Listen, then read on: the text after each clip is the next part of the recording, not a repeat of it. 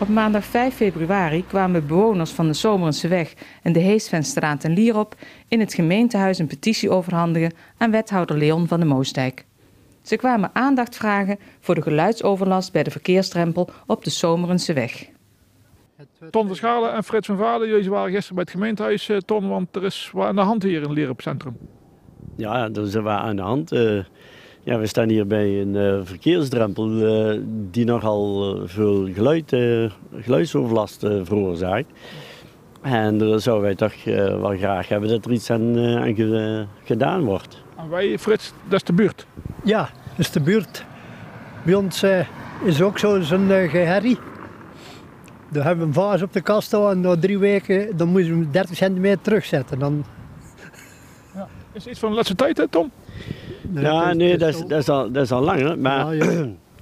Eh, ik zelf eh, woonde eerst op Heesvenstraat 4. Daar hebben we een nieuw huis gebouwd, en, maar dat is, dat is veel te groot. Onze dochter die woonde met haar man en de kinderen op 2.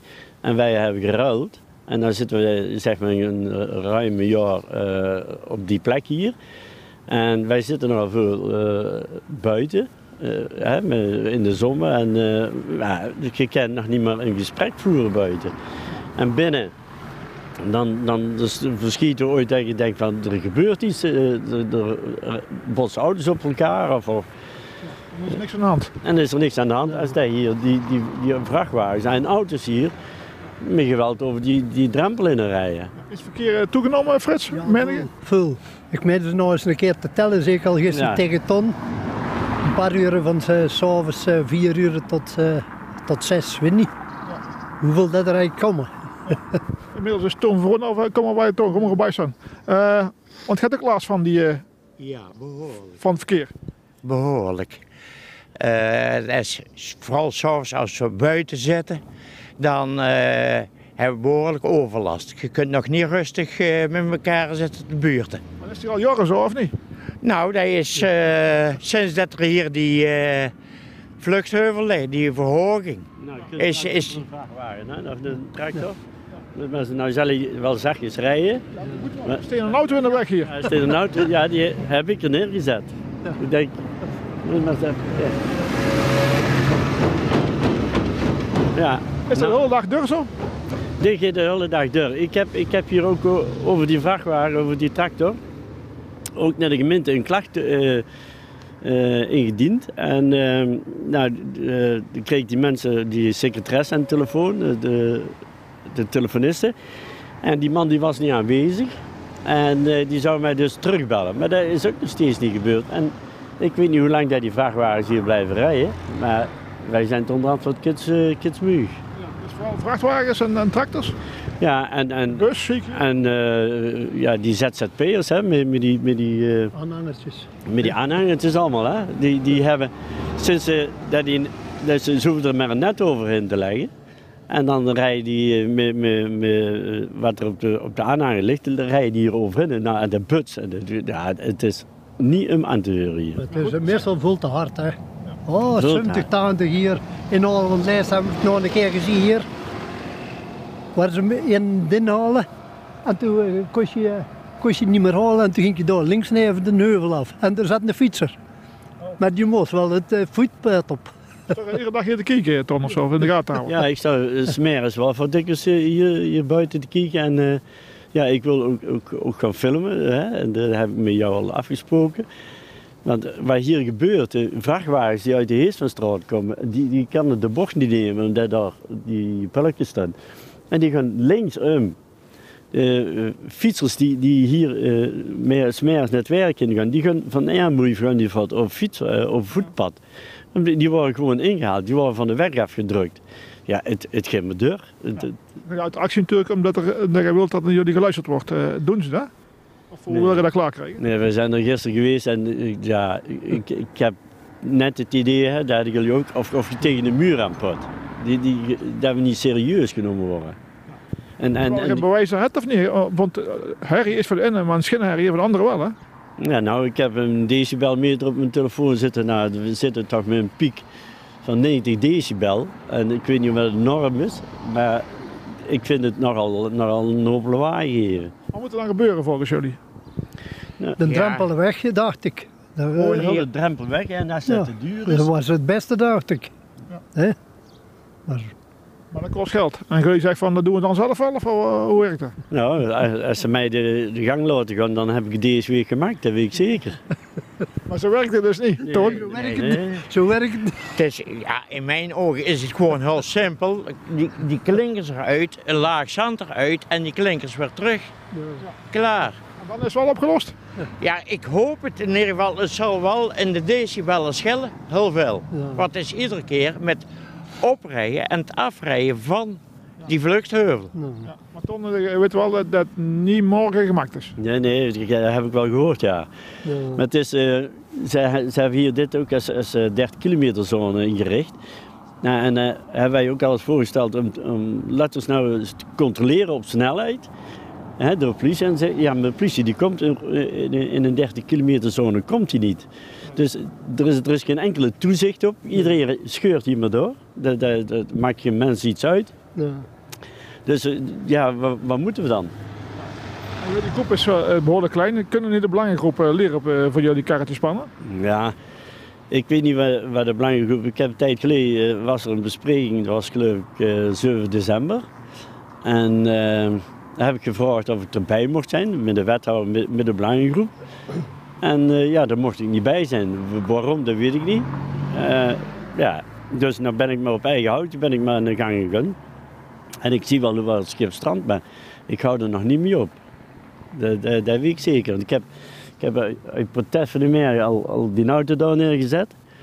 Denk, Mag die heel lang blijven staan, want dan kreeg je toch wel last van, denk ik. Nou, gaat hij gaan deuken. drie dagen blijven staan daar. En dan, dan moet ik hem... Daar zit hij gisteren. Dus dan zet ik hem weer op een andere plek neer. Maar dan zal er weer dat er iets gebeurt. Hè? Dan zet ik hem links zitten. Ja, dan zet ik hem weer neer.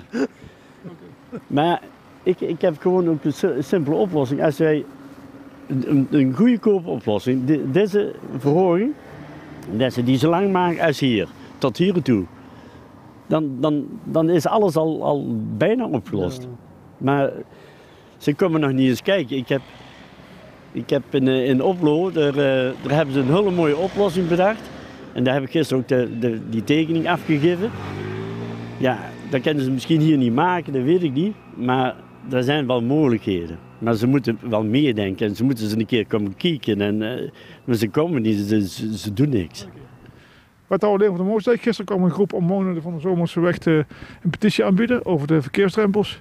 Die willen ze daar weg hebben. Ja, die drempel die willen ze daar weg hebben. En ehm, als ik de verhalen hoor, kan ik dat op zich ook best wel begrijpen. Alleen eh, het, begrip van een wethouder, daar, eh, daar begint het misschien mee, maar daar is niet mee klaar. Daarmee heb je niet meteen een toezegging dat er iets gebeurt. Want uh, degenen die zich goed kunnen herinneren, die weten dat we rond 2012 een hele discussie hebben gehad. Toen het college met de toenmalige gemeenteraad en het dorp Lierop over het uh, remmen van het verkeer door Lierop. En dat hele pakket aan maatregelen is door het dorp uh, goedgekeurd en aan de hand ook door de gemeenteraad goedgekeurd. Ja. Er liggen allemaal besluiten onder. Um, en als je dingen nu in één keer gaat veranderen omdat iemand er last van heeft, ja, dat heb ik proberen uit te leggen in het gesprek wat we gehad hebben. Dat is heel lastig. Uh, niet alleen omdat er niet meteen geld is om iets aan te passen, maar ook omdat uh, de doelstelling verkeer remmen. Ja, bij iedere variant moet je toch kijken van ja, kan je het anders inrichten en toch de doelstelling die je destijds had overeind houden. Ja. Maar ze vroegen ook van uh, wethouder, kom gewoon zelf even luisteren hoe erg het hier is. Ja, maar daar hoeft de wethouder niet speciaal voor te komen. Want ik, uh, ik kom op heel veel plekken in de zomer. Ik heb zelf ook ooit aan uh, weg gewoond met een busroute. Uh, de grote toegangswegen, dat is zowel door Lieren, maar dat is ook in zomer een kanaalstraat, de Rofstadlaan. Dat zijn allemaal wegen die hebben best wel wat verkeer te verwerken. Want het is toch de verbinding van de rondweg naar, naar het centrum. Of zoals in Lieren op de dwars doorheen. Die hebben nou eenmaal verkeer, maar voor de verkeer is vaak ook geen andere plek te vinden. Dus het is toch altijd dealen met het verkeer wat er is en kijken hoe je de overlast zoveel mogelijk kan verminderen. De overlast is vooral van vrachtwagens en, uh, en tractoren. En die rijden dan leren ja. nogal wat door. Klopt. Uh, daar heeft de Belangengroep eerder ook al een brief over gestuurd in juli van uh, 2017. Daar hebben we in december ook uh, een gesprek met de Belangengroep over gehad. Hè, met, met de hele Belangengroep vergadering. Um, en we gaan eigenlijk samen ook kijken, kunnen wij dat doorgaand verkeer, waar de politie op zegt niet te willen handhaven of niet te kunnen handhaven, proberen we toch met vrijwilligers te kijken van kunnen we als gemeente gewoon een keer zo'n bedrijf bellen en zeggen van waarom rij je daar überhaupt? Want vaak zit het toch in de voorlichting of dat zo'n bedrijf zegt ja, maar de bewegwijzering of de navigatie. We willen graag weten waarom mensen daar rijden. Aan de andere kant hebben die mensen ook heel simpele oplossingen. Die zeggen gewoon, nou, we halen de keier zelf even uit, uh, laag je zand eraf, we leggen de keier weer terug. Binnen twee dagen is het opgelost. Ja. Dat is niks voor de gemeente. Op zich, hè, eh, een stukje zelfwerkzaamheid, daar zouden we best wel voor in zijn. Alleen het is wel zo dat je, eh, je hebt eh, normen. Het CROW is een, een landelijk kennisinstituut dat normen aangeeft hoe zo'n iets eruit moet zien. We willen het ook een beetje voldoen aan de eisen voor 30 kilometer. Je kan wel iedere drempel anders inrichten. Maar voor verkeersdeelnemers moet het gewoon duidelijk zijn. Daar ligt een drempel. die moet zo zijn dat je ook gedwongen wordt om te remmen. En ze zeggen, ja, ze rijden hier toch 50. Ehm, het is ook een plek waar verkeersbrigadiers staan. En die eh, bellen ons ook regelmatig van... Goh, eh, we hebben wel iets nodig. En zo'n drempel helpt dan toch om eh, mensen te attenderen op die situatie. Maar heeft u wel begrip voor als mensen dan met petitie komen dat ze eigenlijk naar huis willen met een toezegging? Tuurlijk, daar weet je gewoon, mensen eh, willen aan de ene kant gehoord worden, maar willen ook eh, zien dat wat, wat zij vragen, dat er serieus naar gekeken wordt en niet zomaar wordt afgedaan. Alleen sinds de aanleg van deze maatregelen komen we al ieder jaar bij de belangengroep terug. Ieder jaar kijken we samen van hoe wordt het beleefd. En eigenlijk is ieder jaar de conclusie, het is niet ideaal, maar het is waar we voor gekozen hebben en we zullen het ermee moeten doen. En we staan echt wel open voor verbeteringen, maar dat kan niet van vandaag op morgen. Daar heeft de raad ook iets van te vinden en dat duurt gewoon even.